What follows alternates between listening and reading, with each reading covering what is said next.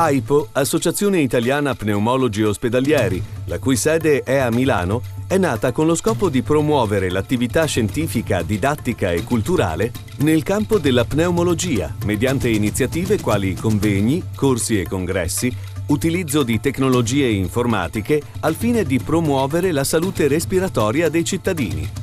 L'AIPO, cioè l'Associazione Italiana Pneumologi Ospedalieri, è una delle società scientifiche che opera nel campo della pneumologia e quindi delle malattie dell'apparato respiratorio ormai da molto tempo, che ha tra le sue finalità quelle che sono le finalità eh, previste per una società scientifica, cioè di svolgere attività eh, di ricerca, attività formative nel campo delle malattie dell'apparato respiratorio e anche attività di interlocuzione con le istituzioni per essere in grado proprio di proporre modelli organizzativi eh, che in un momento sicuramente difficile da un punto di vista di risorse per il sistema sanitario nazionale sono quelli più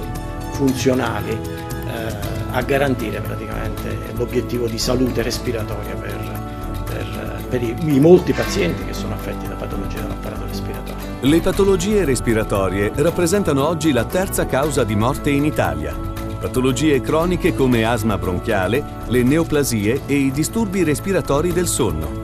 I recenti dati della Società Europea di Pneumologia testimoniano come le malattie respiratorie siano già attualmente tra le prime cause di morte nel mondo occidentale. Noi abbiamo decine di migliaia di ricoveri, anzi più di 100.000 ricoveri all'anno per insufficienza respiratoria,